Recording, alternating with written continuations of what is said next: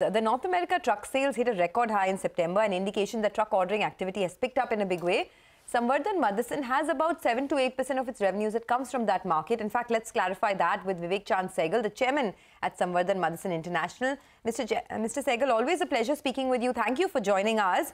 Um, you know, I want to start by asking you about the recent order backlog in North America, which was surprisingly positive uh, after many months. How do you see the demand trends in that market? And how much of your own business comes from there? Uh, North America is about 18% of our turnover. We have 31 facilities and about 27,000 people mm. working in North America. So it's pretty uh, important. Um, uh, yes, the numbers are good and uh, they're going to be uh, better. So the indications are. But, uh, you know, we're, we're delighted that America is doing well. Um, I think uh, all other uh, countries are a bit weak, but uh, America is doing very well. So that's good news. Okay. Um, so you said that North America uh, totally is about 18% of your business. Within that, how much comes from uh, the truck and tractor segment? And over there, how is the ordering activity? Uh, because, you know, generally May to September is a lean season, but this time ACT research told us that uh, a lot of the ordering was done in September itself. Uh, so how do you see the next three, four months shape up? No, I think uh, uh, there is no reason to uh, uh doubt the optimism. I think the American market looks strong. it still hasn't beaten August 21, but I think in the coming months it's going to do better.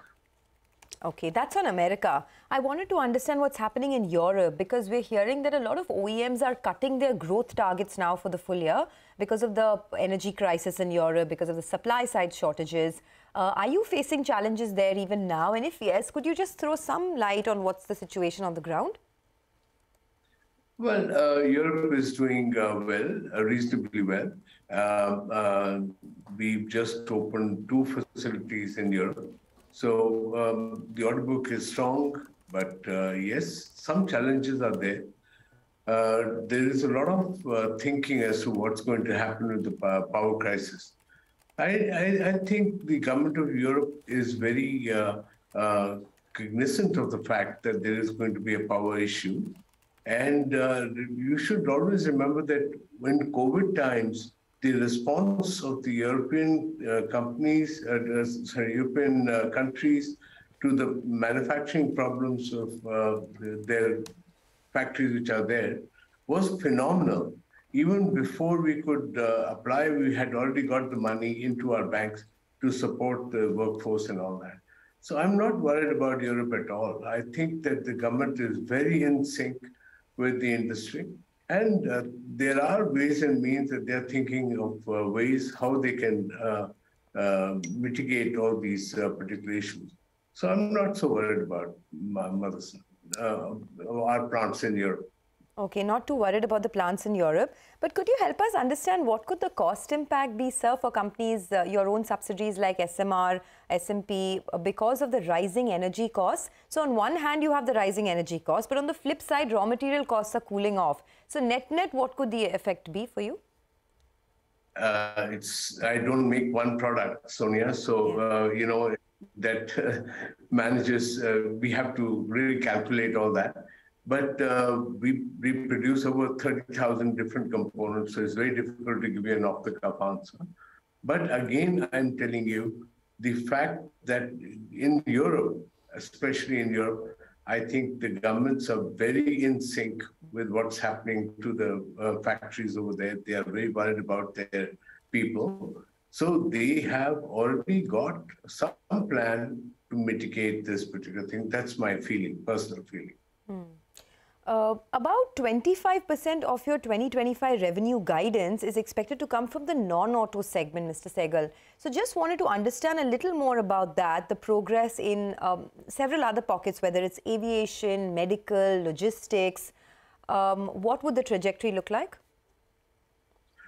Thanks, uh, Sonia. The uh, thing is like this. In November, we are going to have the uh, midterm review of our five-year plan and we will be sharing it with all the um, investors and uh, uh, our uh, media and all that. So you just have to wait for another month or so, month and a half, and uh, we will tell you. But yes, the progress is very good. In spite of two and a half years of the first five of this five-year plan uh, covered with COVID, please believe me, the trust, the uh, the progress is very good. Okay, that's on the non-auto business. But coming back to the main passenger vehicle, the, the you know auto business, uh, wanted to understand what the demand trends are like. You spoke about Europe and how you're not too worried over there. Over there. Uh, what about markets like China, uh, the US overall, not just North America? Because, you know, we just got some data from Tata Motors where the retail sales for Jaguar Land Rover have seen a dip. Um, in fact, uh, you know, one of the pockets saw even a double-digit dip. The Jaguar business saw a double-digit dip uh, compared to last year. So just wanted your sense of how uh, the luxury auto market is doing in China as well as in the US. So I think uh, in US and all that, it's a no-brainer. It's doing very well. I think China, they are grappling with uh, some COVID issues and also the uh, there's a Congress going on over there for the appointment of the third term of presidency. So I think there's uh, some uh, disruptions over there for, for some time. But once this Congress is over uh, and all that, and they, they solve the problem of uh, COVID lockdowns, etc., I think it's going to become very bad, very, very good, because the people will have huge demand, which is pent up demand, will come back. Just uh, uh, uh we have to be patient for a month or so. I think globally, it's the, the markets are looking good. Uh, the luxury demand cars are, is doing very well. There's waiting lists of two years, four years. I mean, uh, it's unheard of. It's unheard of. Okay, that's great to hear. Finally, then a question on the uh, you know margin performance as well. I mean, it has been a, a challenging last few quarters we are in quiet period. I cannot give an answer to that. All right, Mr. Sehgal, we'll leave it at that. Thanks a lot for stopping by and speaking to CNBC TV 18. Appreciate your thoughts. Uh, that is uh, Samvardhan Motherson speaking about the North American truck orders. They say 18% of their business comes from North America and that market is firing on all cylinders. And they're not too worried about Europe, although there are challenges there. China is also grappling with COVID issues, so some problem pockets for sure. But then, uh, you know, there's a ray of hope in North America the North American market needs to fire a little less, right? It'll solve a lot of problems with rate increases, etc. But uh, that's Motherson for you. 200 points are down on the Nifty, by the way. So it's uh, still there. I mean, there's no great uh, change or there's no great pullback or anything of that sort.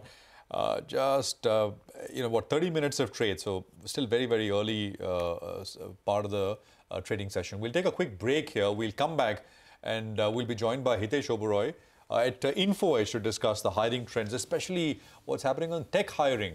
Uh, and uh, of course, a little bit of the outlook on the company. Later, we'll also be joined by Patanjali Keswani, Chairman and Managing Director at Lemon Tree Hotels, to discuss how business uh, has uh, panned out, how occupancy, etc., is looking ahead.